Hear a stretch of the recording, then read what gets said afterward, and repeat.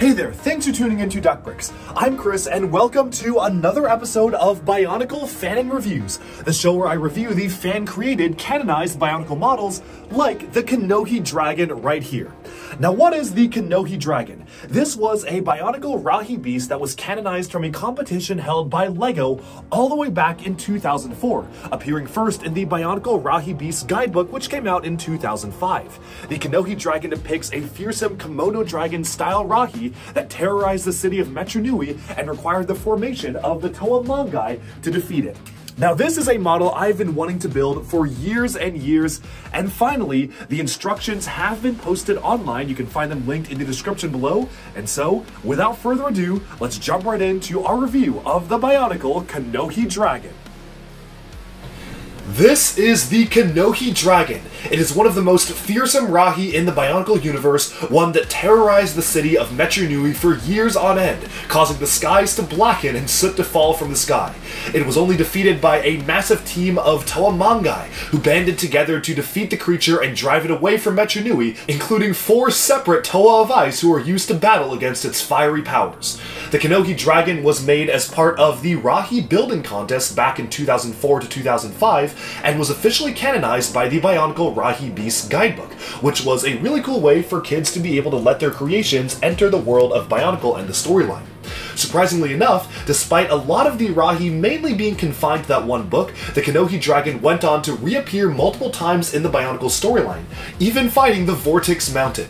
Now, as a model, the Kanohi Dragon is a really interesting one, and what I will say is that it certainly is a model of its time. In fact, this review is going to have to be a pretty unique one compared to a lot of other reviews. Normally, we start off with posability and building techniques and whatnot, but there isn't really that much you can actually even do with the Kanohi Dragon, for better or for worse. As you can see, all the posability you can get is by kind of moving the feet around like this, and there's not a ton that you can even get with it. Obviously, you can kind of move the feet up and down, you can wiggle them back and forth, but there's so many different things that flop when you move around the model. It is very prone to pieces just falling off. Like, let me just go ahead and reattach that piece right there.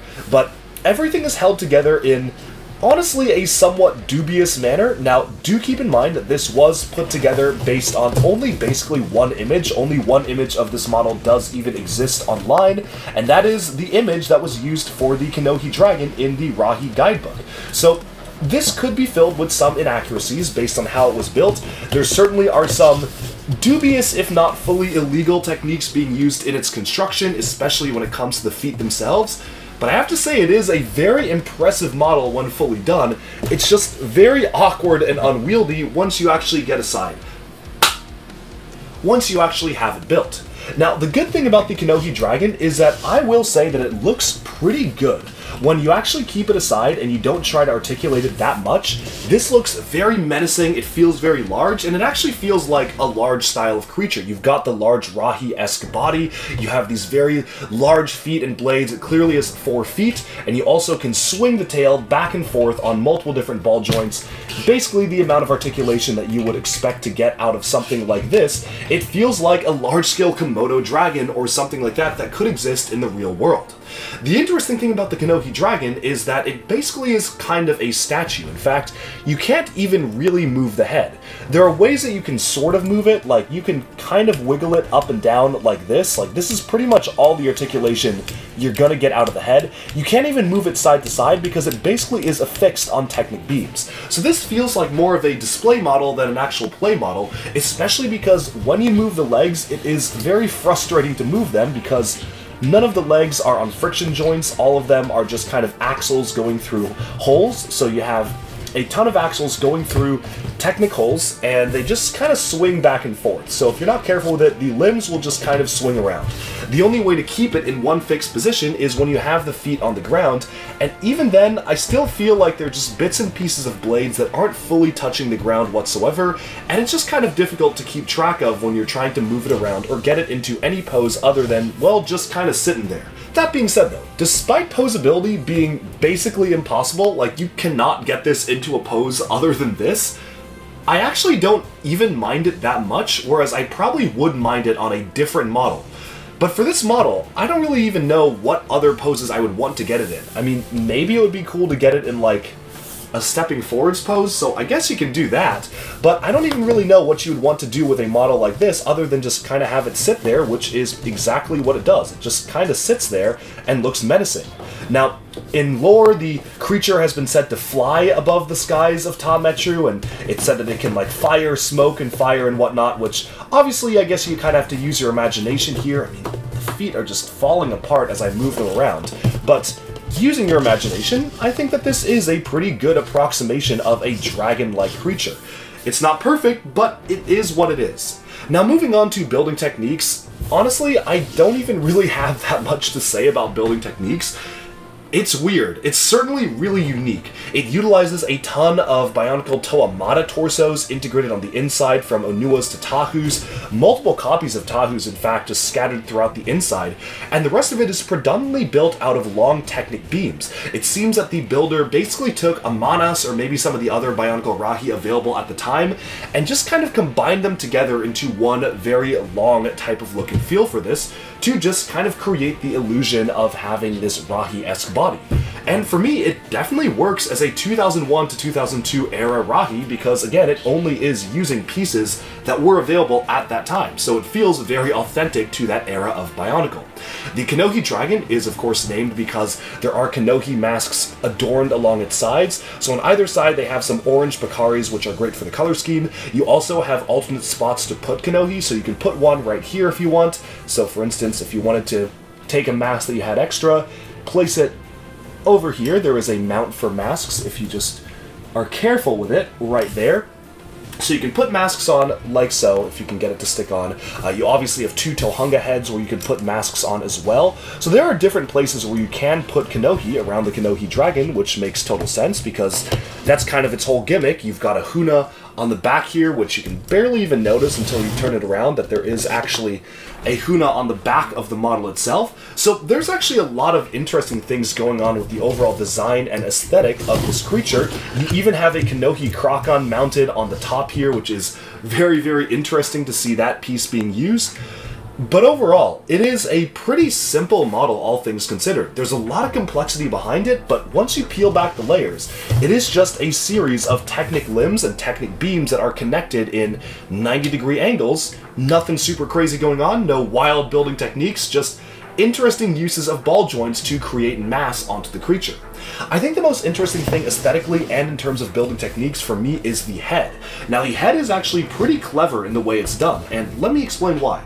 So as you can see, you've got kind of the Komodo dragon whiskers coming out in the form of Technic tubes. I really like that parts usage. I think it's a really smart one to use for the Kanohi dragon itself. You have the Bohrok eyes and faceplate being used to create the eyes of the creature, which I think really work in its favor. You also have some Mata heads being used with some shields sticking out of the sides, which I also feel just make the shaping of the head very rounded and very customized. And I really love the usage of the Roborider's uh, headpieces right here because it almost looks like nostrils on the front of the dragon itself and a mouth on the bottom. It even has a dangling whisker in the form of the orange claws, almost like this is a wise or elder being, which is really, really cool and interesting. And I just like all of the different inclusions for the shaping to be done for the head itself. It's got ears or pointy horns on the back here. It's got a nice shaping with the Kanohi Huna Noble on the back to kind of curve it downwards onto the spine. It's just a really well done head, and I kind of wish that same design principle extended to the rest of the body, but as it is, the rest of the body feels fairly rectangular when I do have it in hands, and the head is definitely the most impressive part of the model to me. The other thing I find pretty interesting, at least shaping-wise, are the way the feet are done. As you can see, it is predominantly relying on Koli staves as well as Kopaka skis to use as claws, and it's not a bad idea, but the only thing about it is that building techniques-wise, it is really floppy. So as you can see, this thing will just flop back and forth. There's really no friction holding it in place. The Onua claw here can't really rest on the top without pushing this piece up. It has to rest on the bottom in between the claws like that, so that causes some asymmetry to it. I think it's a really cool idea to use the Koli staves as feet, like these almost feel like large claws or hooves, but the way it's executed leaves a little bit to be desired, especially because they took a really cool idea, and I just feel like with modern parts today, somebody could really cook with these particular pieces being used as feet, but maybe this model was a little bit ahead of its time.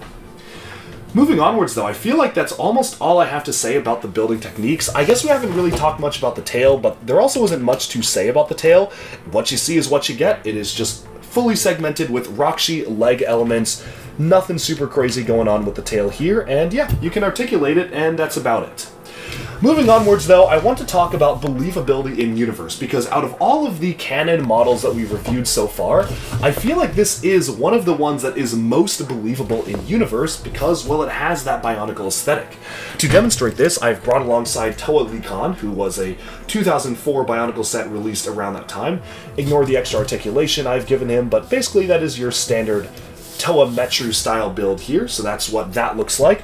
And I've also brought alongside Tehutti a random Onumatoran, also from the Metru style of build, and you can see just how good these look next to each other. I definitely feel like the scaling works out very well. You have a monstrous dragon-like creature, and you have a Toa there to battle it. I can definitely see this needing several Toa to take it down, especially a massive team. If it's really powerful and really lumbersome in the way it walks, this could be a really formidable opponent for the Toa. And it's just a lot of fun to imagine a lot of these battles within this scenario itself, which is really, really cool.